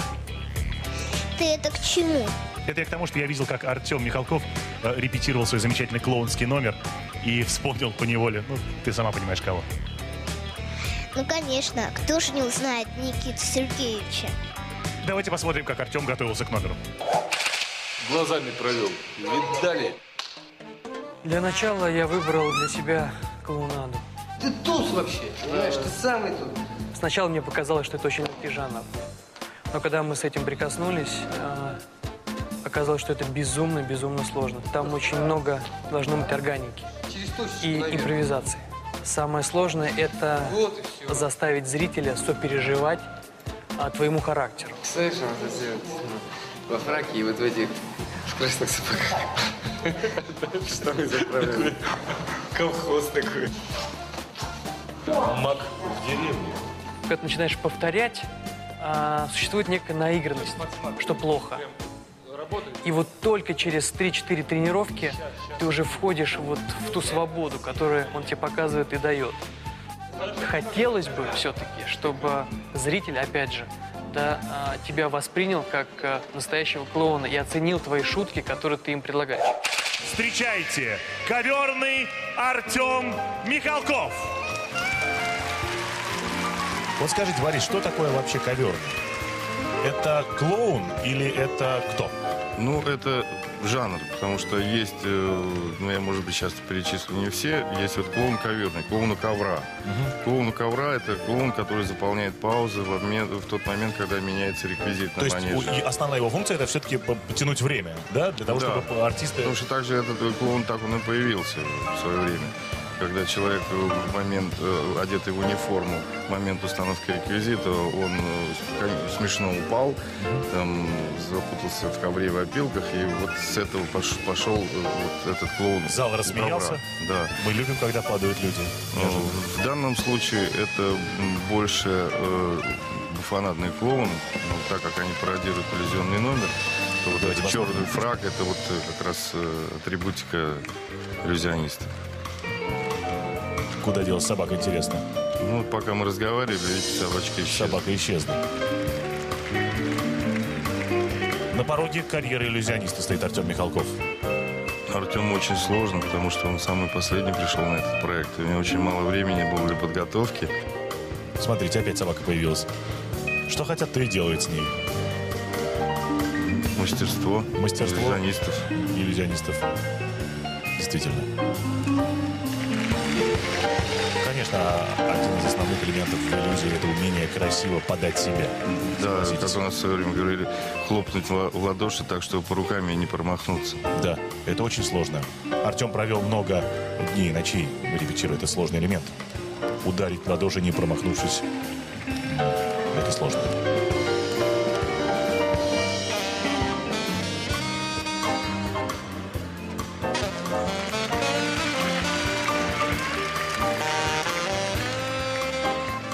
Несчастную женщину вывели. Это традиционно. Я, знаете, вот это я со многими разговаривал. Очень многие люди боятся садиться в цирке на первые ряды, чтобы, не дай бог, их не вытащил. Да я сам никогда не сажусь. Не дай бог вот так оказаться. Сейчас можно стоять, улыбаться, но уже понимаешь, что ты, что, конечно, это, это плевок в вечность такой. Позор на всю страну сейчас смотрит по Первому каналу. Несколько миллиардов человек. Причем наоборот, девушка сейчас прославится. Все подумают, что она специально, что это партнерша. Сейчас интересно, как исчезнет Константин. Ну-ка. Французский связной называется этот номер.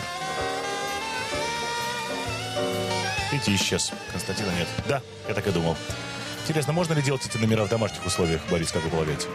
Ну, я думаю, что да. Особенно, я думаю, что они будут удачно выглядеть в роли мужа, который возвращается поздно ночью. Да, это, наверное... Без зарплаты. Без зарплаты Немного приходит домой, встречает его жена в компании с тремя мужчинами, и все вместе они начинают показывать иллюзию. Фокусы. Немножко не туда, видно. Заблудился. Заблудился сейчас. Константин, вот, пожалуйста, появляется. Ну, очень четко отработанный номера, согласитесь, Борис. О, пожалуйста, вот вам жест. Жест настоящего иллюзиониста и немножечко себя взял за органы малого таза.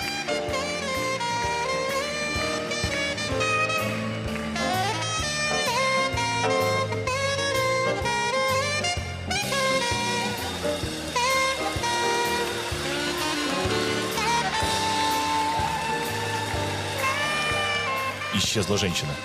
Да, но я просто не хочу раскрывать Не раскрывайте, секретов. Борис, да, пожалуйста. Нет, не секретов этого номера, а дальнейшего участия Артема в этом проекте. Ну, он, в общем-то, себя еще покажет. И, Ну, вы знаете, мне кажется, что он и так себя уже достаточно показывает. ну, сейчас он себя показывает больше как драматический артист. Да. Ну, вот закончен номер. Нет, еще видите, еще кое-что осталось. Несчастная женщина сейчас стоит на пике славы. На пике славы. Представляете, что, она сейчас думает? Я могу себе представить, да. Думает, интересно, утюг я выключила, когда выходила из дома, или все-таки оставила включенным. Победила дружба, как и всегда. Давайте все вместе, друзья, поаплодируем и Константину Устинцеву, Артему Михалкову и замечательной даме. Артем, как рано вы обнаружили в себе задатки настоящего иллюзиониста? Ну, примерно неделю назад, наверное. Ровно неделю шла подготовка этого номера. Ну, на самом деле, с детства мечтал показать этот трюк. Вот благодаря Константину Мне кажется, то, что смогли, то и показали. Костя, что самое сложное вот в такой пародии на м, иллюзию? Э, Говорить. Да, понимаю. Вы же мим, простите, да, действительно. Зачем я вас спросил? Э, хорошо, но не могу не задать вопрос один, Тем. Ну не могу, ты уж извини, ну так уж. Ну, в общем, папа что сказал, когда узнал, что ты в цирке будешь выступать? Он пока не знает, не говорите ему. Уважаемые судьи, попросим вас оценить блистательную попытку Артема Михалкова погрузить нас в волшебный мир иллюзии. Артем, э, прелестный совершенно артист, прекрасный артист. Потому что рядом с Костей работать очень трудно. А э, девушку жалко. Спасибо огромное Артему Константину. 29 баллов набирает этот магический дуэт. Артем Михалков и Константин Устьянцев. Фу, да, непросто. Оценку видел 7, 7, 8, 7. Э, Как оценивать акробатов, которые прыгают э, 5 сальто, и клоуны, которые ну, работают вот здесь, да, вот все внутри? Результаты Молодца. последнего. Пока.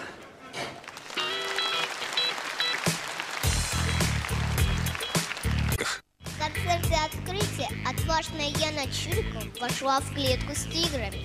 И ей это понравилось. Сегодня она решила рискнуть еще раз и войти в клетку с живой лошадью. Мы решили усложнить Яне задачу и убрали клетку. Теперь ничто не отделяет Яну от лошади и от толпы разъяренных зрителей. Посмотрим, как Яна справится с этой непростой задачей. Гротеск наездницы – это такое специальное развлечение для богатых господ, для военных, когда девушка просто красиво танцует на лошади. Технически все очень сложно, и самая огромная для меня сложность – это совместить технику и характер. Умничка, носочки натянуты. А корпус почему плане? До этого момента, когда я увидела лошадь в цирке, я на ней не то, что не стояла, я на ней сидела всего два раза. Иди, шагай, шагай, шагай, заминка, кумач, заминка. Самое ужасное – это стоять, конечно, на нем, потому что тут нужно всегда ловить малейший баланс. Он меня столько раз скидывал на манеж. Очень, знаете ли, прикольно лететь на манеж, а вот так вот в миллиметре от лица копыта такое. Жанр рискованный, жанр ничем не подстрахованный. После нескольких падений она мне сказала одну вещь. Я буду репетировать до такой степени, чтобы лонжу с меня сняли. Я не чувствую себя в безопасности, несмотря на то, что Яна рядом. Я знаю, что она меня не спасет, если я вдруг упаду. Людям со стороны кажется, что там ничего нет особенно. Просто люди танцуют на коне. Подумаешь, ха, я сейчас встану, э, любой дурак может. О, На арене бесстрашная наездница Яна Чурикова. Женщины, переодетые джигитами, Предвещают предвещают появление. появление наездников. И вот появляется Яна Чурикова на коне. На боевом коне Кумаче. Кумач, да, зовут этого коня.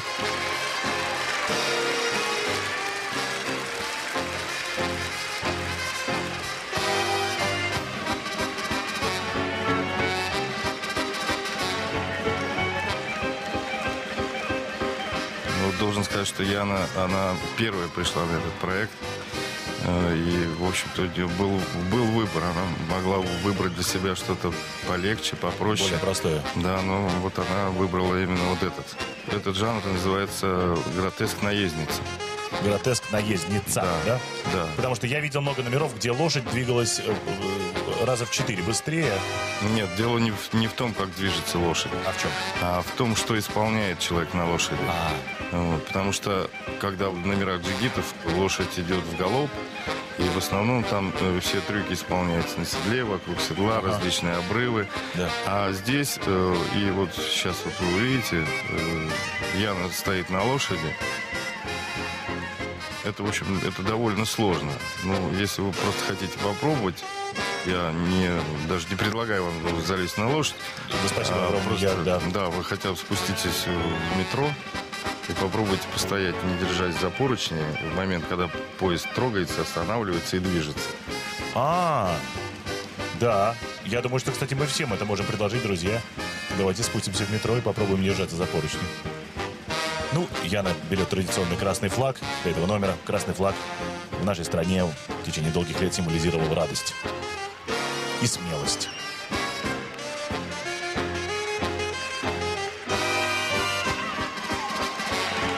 Яна молодец, она очень упорная, она приходит на все репетиции. Могу сказать одно, что номер она довела до конца и отработала все трюки, то, что планировала, то, что репетировалось великолепно. Ну, Спасибо тебе, Яна.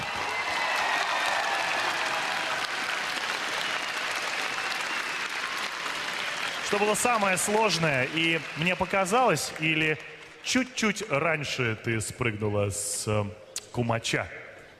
Так ли это? Или это все, все прошло так, как было задумано? А пускай это останется на совести моей кумача. Я так думаю. Это загадка теперь. Теперь это загадка. Ну, посмотрим, разгадали ли эту загадку члены нашего жюри. Я знаю, как работать с лошадьми. В кино мне неоднократно приходилось скакать и э, в корсете делать всевозможные трюки на лошади. Лошадь это очень умное, хитрое животное со своим характером. Поэтому заставить ее слушаться довольно сложно. Яна с этим справилась. Молодец. Поэтому 9 баллов. 34 балла набирает Яна Чурикова вместе с Яной Шаниковой за этот номер. Спасибо огромное! Малыш, ну ты вообще флагом. Чего ж ты это пере- передергала все это? Ты на самом Потому деле что испугала я- флагом. Потому что надо было плечо, и надо было просто стоять. А ты начала мотать, и его начала дергать. Ноги у тебя ушли, и все. Но все равно умничка. Было круто. М, Умничка. Слушай, Адреналина думала- как, нормально тебе? Я думала, что будут меньше оценки. Ну, извини, это знаю. сложный жанр. Спасибо, ребят. Время терпеть. Да что ты, господи.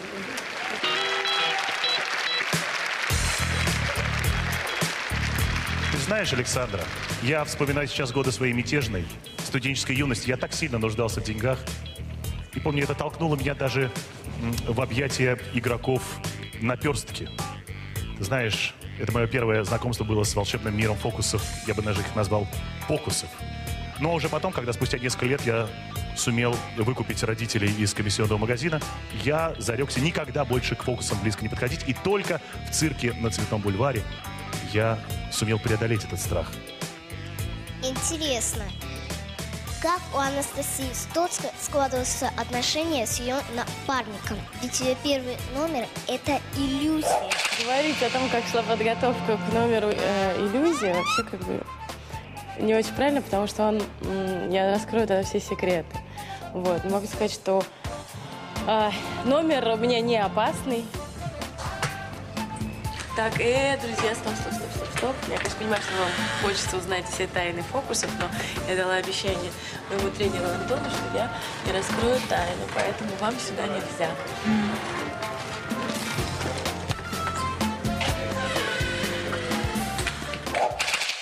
Гласит старинная цирковая поговорка, помощники иллюзионистов живут недолго, но весело. На манеже Анастасия Стоцкая. И снова, я так понимаю, Борис, мы с вами увидим сейчас вместе с телезрителями э, элемент иллюзии. Вот это уже Антон Красильников, э, человек, отвечающий за иллюзию в нашем проекте. И Анастасия Стоцкая, которая будет ему ассистировать, но, как вы сказали Нет, ранее... она не будет ему ассистировать, она будет именно сама исполнять иллюзионный трюк. А, ассистировать ей будет Антон.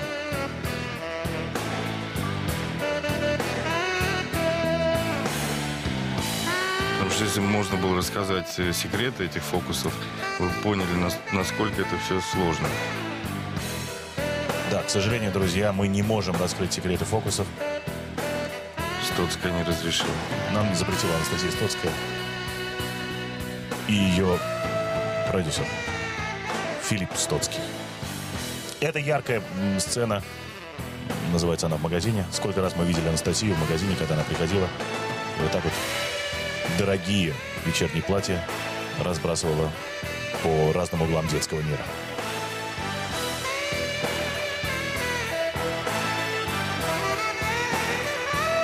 Любому трюку нужна определенная подводка. Потому что иначе трюк он не будет так выстреливать.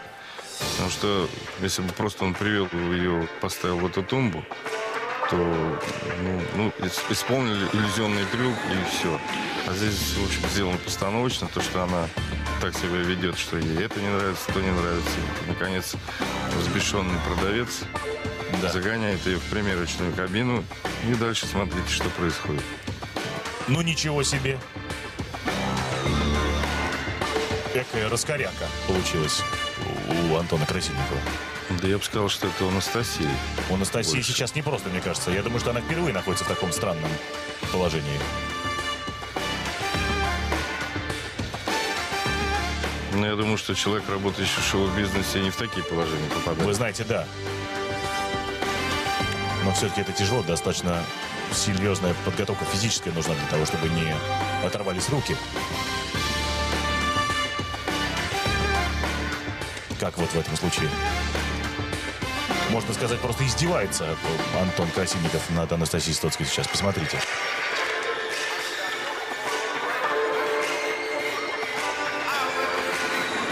Ну, самое главное обратить внимание, что тут нет никакой подмены. Двойника Анастасии Стоцкой пока нет. Да. Сумасшедший дом. Как такое могло произойти? Посмотрите.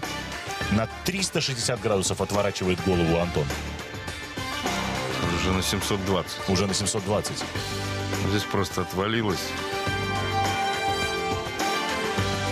Да. Интересно, сможет ли Анастасия принять участие дальше в э, нашем шоу после такого номера? Следующий жанр.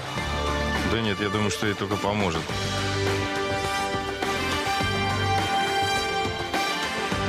Обратите внимание, с какой ненавистью а, Антон сейчас э, обращается к Анастасии. Извечный спор между артистами цирка и артистами эстрады. Яркий пример. этого. Вы запомнили, в каком наряде она входила в тумбу? Да, в, в моем черном костюме она заходила в тумбу. Сейчас посмотрим, как она выйдет оттуда, из этой Смотрите, ситуации. Руки в перчатках. Вот вам и трюк. Вот это да. Если учесть, что мы знаем Анастасию, она без посторонней помощи одеться не может, то это, конечно, фантастика. Вот научили. Научили. На свою голову.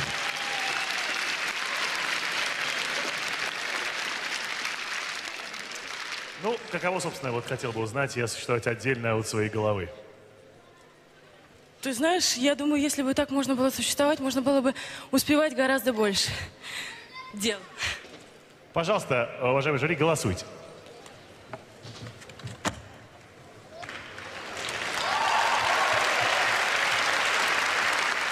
Да, э, Настя удивительно артистичная э, актриса, удивительно артистичная. И слушаться такого э, прекрасного иллюзиониста очень сложно.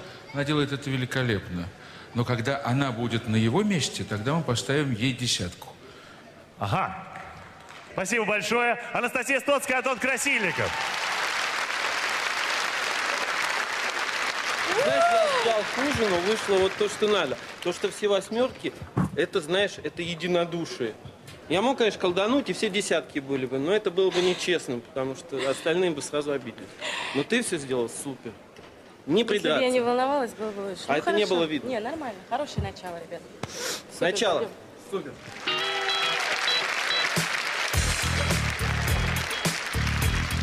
История следующего номера заслуживает отдельного внимания. Дело в том, что в начале Денис Клявер и Стас Костюшкин, участники группы «Чай вдвоем», должны были ходить по канату. Но все канаты плетутся из расчета на людей нормальной весовой категории. Из соображения безопасности ребят было решено оставить на земле, а канат разложить прямо на арене. Ты встанешь, попробуешь? А что встать? Вот надо вместе с ней сесть. Женька, Женька наступит сюда и встать надо. Если бы в цирке мы были, бы, мы были бы нижними в акробатике. Это сто процентов. Потому что все остальные э, жанры, там желательно, чтобы мы были ну, просто ну, вот чуть-чуть, вот, ну, настолько поменьше и чуть-чуть по- полегче. А этот жанр, он как, как нельзя лучше подходит именно вот к нашей комплекции. Поэтому мы взяли то, что нам удобнее. Безусловно, переживаем за, за милых, красивых девчонок, за Женечку и Занечку, которых мы подкидываем. Периодически бедные девочки. А я представляю, как они волнуются, есть, с учетом того, что мы не профессионалы. Вот, казалось бы, девочку бросаем, она мне по голове ногой больно очень, кстати, по уху, между прочим. По уху тоже. Такая вроде маленькая, а- А, а знаете, как сверху, 50 килограммов, тоже больно. И бросок. На плечи. Вот, вот, вот. Стас, Стас, ты идеально. Ты сделал идеально. Ты сделал. Вся вот эта цирковая профессия, она вся состоит из хитрости. Они отжимаются не руками, они отжимаются спиной. Потому что люди работают не один, а два и три представления в день. И выдержать именно вот так вот без хитрости, это просто невозможно. Самое главное, что обидно, что это выглядит так легко и просто. Вот, так что, вы, дорогие зрители, пожалуйста, не заблуждайтесь. У нас это не будет так выглядеть, не переживай. Болит. А так. Сегодня уже мы не дуэт, а квартет. И если мы найдем, а мы нашли эту гармонию, уже нам очень удобно с девчонками работать. Э, Если мы почувствуем, знаете, именно не то, что это силовое упражнение, и не то, что это, а это, что это номер, что с идеей, с какой-то, с какой-то, с каким-то, э, с какой-то, с какой-то драматургией. Если мы сможем вот эту драматургию ввести в акробатику, то мы получим то, что нам нужно. Они могли бы повторить карьеру братьев Запашных. Но кто бы тогда повторил их карьеру? Ласковые мои, нежные. Чай вдвоем!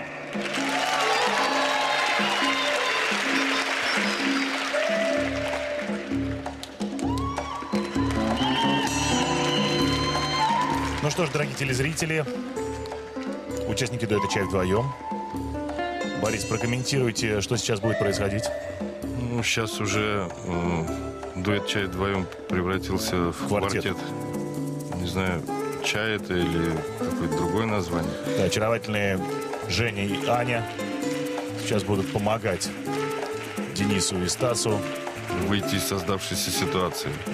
Да, с честью прежде всего.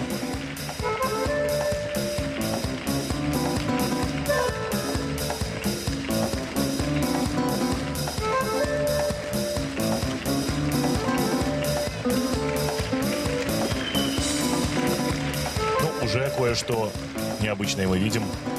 Это костюмы вы? Костюмы. Наибольшее количество одежды на участников «Чай даем» за все время их существования на эстраде. Я сейчас вижу на них.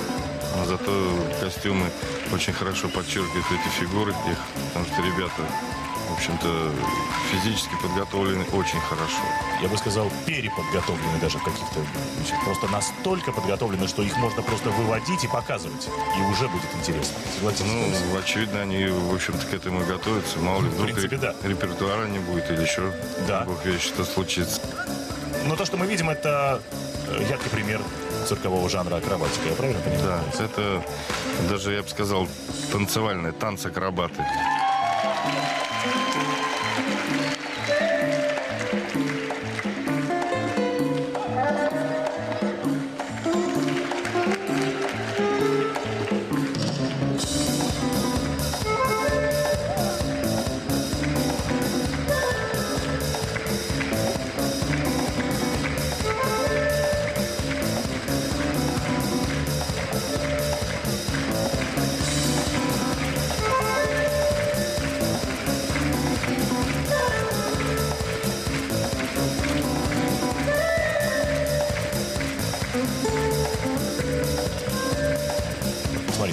Получается сейчас. Вот.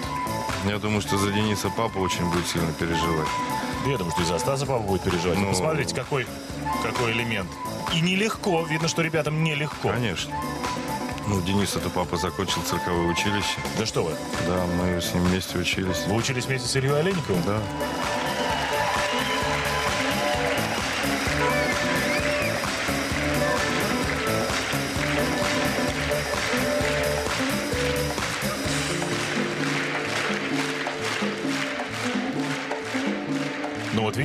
Не только физическую подготовку, но и гибкость демонстрируют участники дуэта «Чай вдвоем». Я думаю, что жюри это отметит.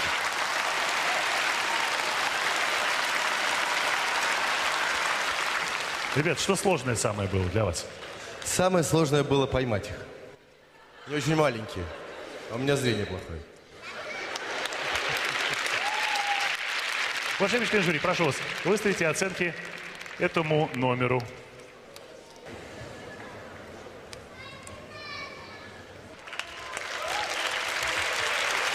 Семь, семь, восемь, восемь. Такие оценки э, Екатерина Стриженова прокомментируйте. Если говорить о коэффициенте сложности упражнений, которые выполняли сами ребята, чай вдвоем, то это на семерку. А если говорить об обаянии девушек, которых они не уронили, то это на восьмерку.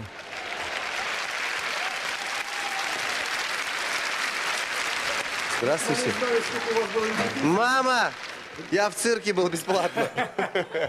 Если вы не знали, сколько у вас репетиции, я вам по 10 Да поставил. нет, супер, молодцы, классно. Отлично, все, ребят. Да не, ну мы. Все молодцы. Все замечательно.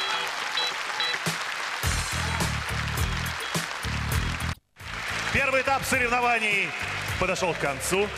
Позвольте пригласить участников на манеж. На манеже сверхновые звезды цирка.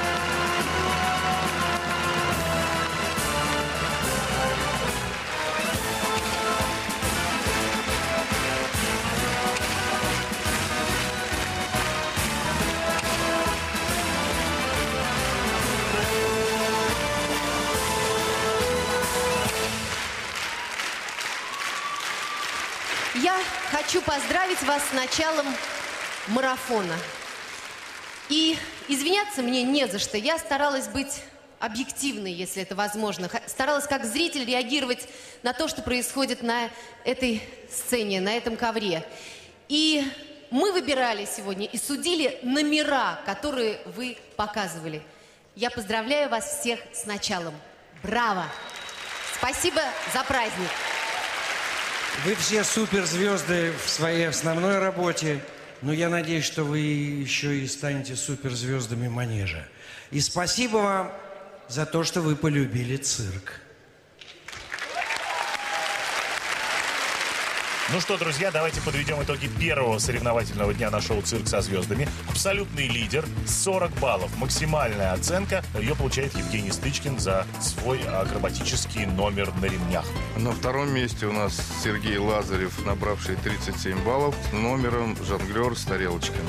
Третье место. Загадочный и мистический Ефим Шифрин. 36 баллов. Ну и замыкает нашу турнирную таблицу Жанна Фриски. 26 баллов поставили ей члены жюри. А участникам, набравшим наименьшее количество баллов, мы э, будем вручать поощрительные призы, наборы косметики и подарочные сертификаты от нашего спонсора, представляющего парфюмерно-косметическую сеть магазинов «Арман Престиж». А теперь я хотел бы обратиться к нашим телезрителям. Дорогие друзья, голосуйте, голосуйте. Для того, чтобы проголосовать, вам нужно отправить смс с номером вашего любимого участника на короткий телефонный номер 7008. Или позвонить по телефону, где две последние цифры являются номером вашего любимого участника. Дорогие друзья, мы прощаемся с нашими звездами до следующей недели. Впереди второй этап соревнований. Вами были Иван Урган. и Александра Волковская. До следующей недели. До встречи в цирке со звездами. Я напоминаю, друзья, что в течение первых шести шоу участники соревнуются даже не сколько друг с другом, сколько сами с собой, потому что именно по итогам шести выступлений и представленных номеров шести цирковых различных жанров будет определен тот самый номер, с которым участник выйдет в четвертьфинал, в котором он уже будет бороться со своими конкурентами.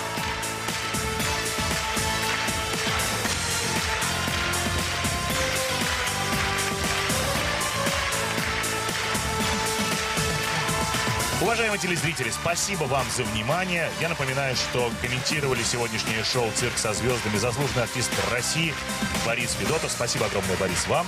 Спасибо вам, что вы нас пригласили на эту программу. Мы очень счастливы и надеемся, что цирк от этого только выиграет. Спасибо огромное, Борис. До следующей недели. Ну а помогал Борису комментировать сегодняшнее шоу «Бородатая женщина» Иван Ургант.